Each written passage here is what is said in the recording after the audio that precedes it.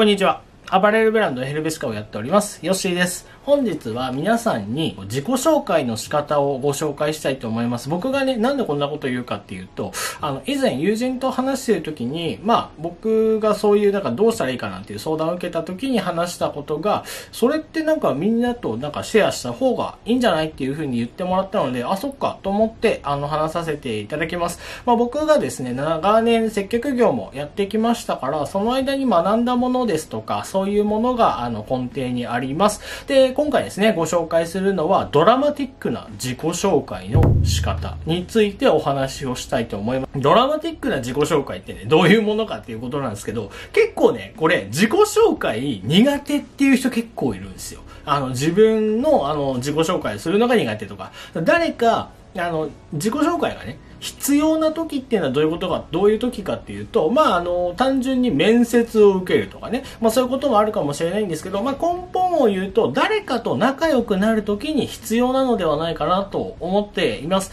どんな人かがわからないと、これからその人のことを好きになっていくかどうかってわかんないじゃないですか。あの恋愛の意味でもなくね、まあそういう意味である人もいるかもしれないんですけど、だからですね、これっていうのは仲良くなりたい相手がいる場合、えー、プライベートでも仕事でも使えるというテクニックの一つなんじゃないかなと思っています。自己紹介するってことは、大概、えー、初対面だと思うんですよね。まずですね、あの、初対面の時に大事なのはアイスブレイクだと言われています。コミュニケーションの中でですね、その相手の緊張感をほぐしてあげるっていうことが、えー、よく、アイスブレイクという言葉がよく使われます。これはですね、あの、海外の起業家の方とかだと、あの、アイスブレイク、相手の気持ちを解くような一言とかっていうのを学ぶために、ジョークの勉強する人もいるぐらいですね。まあ、本当ね、海外っぽいですよね。日本だとあんまりそういう習慣っていうのが少ないかもしれません。でもね、あの、まあ、なんか必殺の一言みたいなのがあると、なんかいいのかもしれませんよね。第一印象の重要性について話さねばなりません。自己紹介するってことは初対面。ですよね。何回か会ってるのに自己紹介ってもう完全に忘れてるだけですから、それちょっとやばいじゃないですか。そうじゃなくて、まあ、初めて会う方に、えー、いい、いい印象を持ってもらうということになると思います。5秒で印象が9割決まると言われています。これね、本当に暴論だという方もいらっしゃるかもしれないですけど、意外と有名な話ですね。これだけは聞いたことある方多いと思います。で、その印象がね、最初に5秒でついてしまった印象を払拭するのには2時間かかるとも言われています。だからもうすっげえ最初の5秒って大事なんですよ。それで、えー、どんなことで判断されるかという点に関してなんですけれども、これはですね、アメリカの心理学者アルバート・メラビアンという方の実験で明らかになっています。えー、まずですね、見た目、表情、仕草の、えっ、ー、と、視覚情報から得られる印象、55%。です。で、二つ目、えー、声の質とかですね、えー、話す速さ、口調などから得られる聴覚的な情報は、えー、38%だと言われています。そして最後、一番重要だと思われている話の内容、これは7%だと言われています。最初のまあ第一印象という意味で言うとという話なので、最初の5秒ぐらいですよね。だから話の内容っていうのはそんなに入ってこないと。内容より見た目と話し方とか声質の方が気になる。そっちの方がっていうのが9割だと言われています。最初の5秒の9割って考えると、パッと見の第一印象の第一声では大体決まっちゃうっていうことなんですね。で、えっと、これはですね、僕が接客を学んでる時に、あの、知ったことなんですけれども、ラの音って、この、すごくね、あの、好意的な音だということが言われています。これどういうことかっていうと、例えばですよ、初めて会って、あ、こんにちは、っていうのと、こんにちはっていうのって、ちょっと印象違いません？もう一回言いますよ。こんにちは。と、こんにちは。って結構違うじゃないですか。これってね、ラなんですよ。大体、ラの音なんですね。ドレミファソララこんにちはっていうことなんですよ。はい。で、このラの音っていうのが非常に耳にね、あの、ポジティブに聞こえる音らしいんですね。なので、第一声はですね、このラの音を意識すると、まあ仕事でもプライベートでもですね、これから話す言葉が、あの、ポジティブに聞き入れてもらいやすくなるというふうに言われております。はい。でここまでよろしいでしょうか。ラの音を意識するということ。最初の5秒にかかってるんで、まあ、身だしなみとか、あの、声の出し方とか、そういうものを気をつけるっていうところですね。もうそれでも9割決まってしまうので、これがね、仕事だと契約取る取らないとかになっちゃうから、結構ね、あの、シビアな問題だし、コミュニケーションで、例えばプライベートですね、仲良くなりたい、まあ、同性でも異性でもいいですよ。友達になりたいなと思っている同性がいたりとか、あとは仲良くなりたいなと思ってる、あの、女の子なり男の子なりいた場合に、距離を縮められるかどうかっていうのは、やっぱ交換にかかってるので、交換が得られやすい音、ら、これをですね、あの、もう、なんだろう、エンジェルトーンとでも言っときましょうか。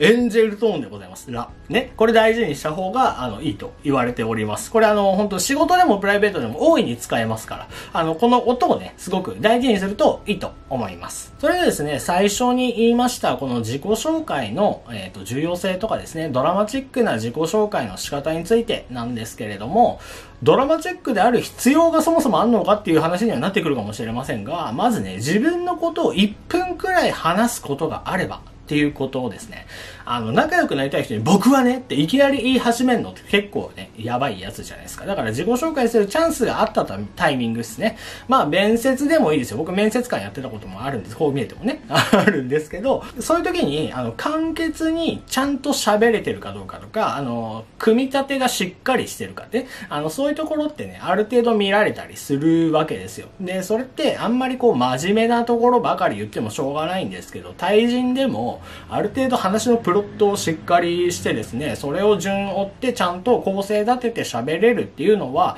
とっても話が聞きやすいということになるんで、まあね、これから円滑なコミュニケーションが期待できるんだと思われるいい技だと思います。ざっくり言いますとですね、ドラマチックに自己紹介する方法を、現在、過去、未来、現在の順番で喋ることが大事なんですね。もう一回言いますよ。現在、過去、未来、現在の順番です。大体、小説とか映画とかっていうのも、割とその流れっていうのはね、多いんですよ。いきなりこう場面が変わったりとかね、あの、するじゃないですか。ずっ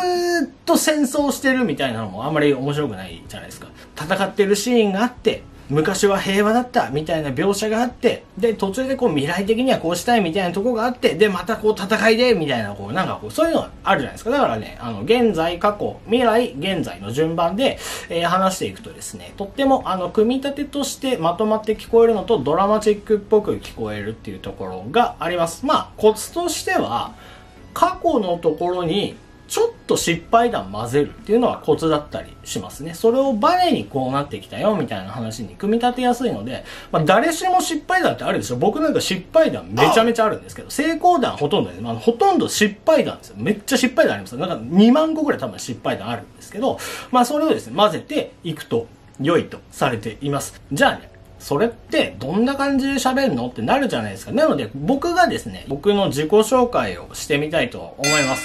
えー、例えば、例えばです。アパレルブランド、えー、ヘルベチカを、えーと、運営しながらですね、YouTuber として毎日配信したりとか、えっ、ー、と、フリーの美容師をしつつ、えっ、ー、と、頼まれたことがね、仕事になるような日々を送ってます。ヨッシーです。あと、美容師としてですね、あの、ずっと僕は18歳の頃から働いてきて、えー、もうね、あの、カードを作って、えっ、と、カード地獄になって、本当借金の返済に追われていた時期っていうのもあります。給料入ってきたら借金払うみたいなね。それでですね、まあなんとか自分なりに一生懸命働いた結果ですね、まああの、店舗で1位とかっていう成績を収めることに成功しました。売れっ子になりたいみたいなモチベーションもあったので、まあある程度、えっ、ー、と、目標をですね、えっ、ー、と、達成して、で、その時にですね、働きすぎが原因で、まあちょっとあの、体調崩してしまって寝込む時っていうのがありました。で、僕の場合は母親が亡くなってしまったりとか、悲しいことがあったりして、で、自分の人生を見つめ直すきっかけとなりました。で、それはですね、いつかやろうとか思っていることは今やらなければ、できなくなるかもしれないと。時間というものが永遠にあるものではなく本当に有限なものだということをそれを持って思い知りました。体の調子が悪くなって、母親を亡くしてですね、そういうことがある中で自分は何を今すべきなのか、何をしたいのかということと向き合った時に、やはりですね、僕は洋服がすごく好きで、ファッションが好きで今まで生きてきましたから、自分一人で、そのブランドをやったりとか、えっ、と、美容師としてもですね、まあ、ある程度好きなように活動すると、フリーになるという、えー、決心をしてですね、今ある当たり前の服にですね、テクニカルな要素、あの、機能的な記事っていうのを盛り込みながら、えっ、ー、と、長持ちしてシーズンレスということをテーマにですね、えっ、ー、と、責任のあるものづくりをしたいと思っています。何を着たらいいか悩んでる友人が僕の周りにも非常に多くですね、昔ファッションが好きだったのに、あの、今何着ていいかわからないとか、洋服がちょっと適当になってきたとかっていう友人がいたので、ちょっとそれも悲しく思い、今まさに僕の世代だからこそこそできる提案とか、そういうものと、あとは、あの、持続可能なものづくりですね。そういうものを、えっ、ー、と、目指して、えっ、ー、と、快適かつデザイン性のあるものというものをやっています。ゆくゆくは、えっ、ー、と、自社ラボのようなものを作って、縫製とかですね、そういうものを一括でこうできるような場所を作ったりですとか、まあ、素材開発とかね、そういうものもしっかりしていって、で、さらに、えっ、と、それがうまくいったらですね、あの、これから洋服を作りたいとか、ファッションの方に進みたいという、あの、若い子たちとかを支援するようなこともやっていきたいと思っています。で、そのためにですね、今、YouTube を、えっ、と、毎日投稿するということと、えっ、と、自分が好きなものですね、まあ、この YouTube を通して好きなものですとか、僕はこういうものがかっこいいと思うよっていう価値観を一生懸命発信しながら、えっ、と、他の媒体に頼ることなくですね、自分の、え一切セールを行わない販売方法というものを実践しております。この価値観を広げるためにも、えっ、と、コミュニティ化していきたいという思いもありまして、先日 YouTube を続けて1周年迎えたっていうのもありまして、集まれる場を作るという意味で、クローズなコミュニティをこれから作っていく予定です。みたいな感じですね。結構喋っちゃった気はするんですけど、こんな感じで、まあ現在、過去、未来、現在、みたいな感じでいくと、ちょっとドラマチックな話し方ができたりします。で、これね、そんなに壮大に考えなくていいし、もうちょっと短く喋ったっていいと思うんですよ。で、自己紹介とかするときの、まあ今僕が喋ってるのは皆さんにどういうことを伝えたいかっていう的を絞って考えて今の内容を喋ってます。僕はやはり洋服を通して皆さんと繋がっていきたいとか、ファッションを通して繋がっていきたいという思いがあるので、今のような内容になるんですけれども、皆さん例えばですね、まあこれが別に服関係なくて、まあ仕事だったら、まあ例えばですけど、まあ何かね、販売する仕事であれば、それを知ってる今と知らなかった時と、これが発展した時と、今だからこういうことやってるとかっていうね、あの販売の仕方もあると思いますし、まああの人間同士、例えば異性とかだったら、まあ過去に、まあ今こういう仕事をしていて、まあこういうことをやってるよとか、でも前はこんなことがあって、まあ例えばですけど、まあ恋愛面でこういうショックなことがあったとか、でもやっぱ幸せな家庭、まあ家庭とか言っちゃうと重いですけど、幸せなこういう未来を築きたいと思ってんだよね、みたいな。で、今、あなたと一緒にいるんです、みたいな。なんかこうわかんないけど、そんな感じでいくと、まあある程度こう話の流れっていうのはまとまってくると思うんですよ。だからこう話し方教室みたいな話になってくるとちょっとまた違うんですけど、自己表現が苦手っていう方もいらっしゃるみたいなんで、まあこういう内容もちょっと面白いかなと思って撮ってみました。どうですかね？大丈夫かな？なんかこんな感じ。友達と話してる流れで、そういうのを喋ってみたらみたいな感じになって、ちょっと、あの、ノリで撮ってみたところはあるんですけど、まあ自分的にもですね、まあある程度こう話しながらまとまってきた点はあったので、まあ良かったのかなと思いました。えっ、ー、と、ぜひですね、皆さん感想を聞かせてほしいと思ってます。カメラを変えた感想も聞かせてほしいと思います。ではですね、えっ、と、ご視聴いただきありがとうございました。高評価とチャンネル登録をぜひよろしくお願いいたします。えー、Twitter や Instagram もやっておりますので、そちらもぜひよろしくお願いいたします。続けていくモチベーションそのものなので、ぜひですね、えっ、と、コメントいただいたりとか、あとは話してほしい内容がありましたらコメント欄にお願いします。僕がヘルベチカというブランドをやっておりますが、えー、現在ですね、ウェブ受注受けております。えー、概要欄からぜひチェックしてみてください。どうもありがとうございました。